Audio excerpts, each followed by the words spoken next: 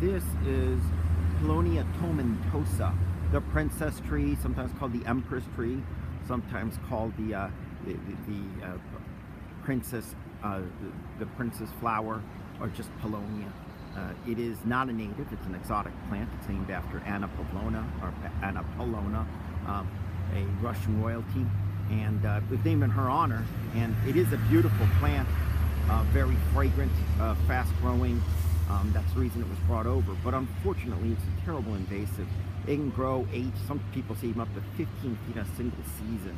And so uh, it quickly overwhelms everything. Um, these these the tubular flowers do provide nectar sources, and later on, you can see how it produces these pods. Um, the pods usually contain tiny little seeds which float very freely.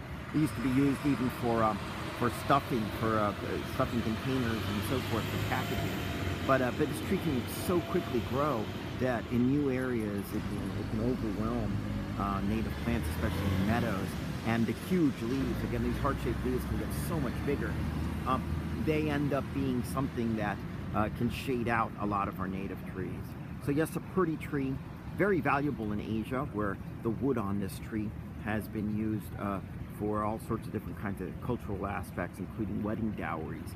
Um, but unfortunately, a nasty invasive that needs to be controlled and not allowed to grow in our in uh, in this country.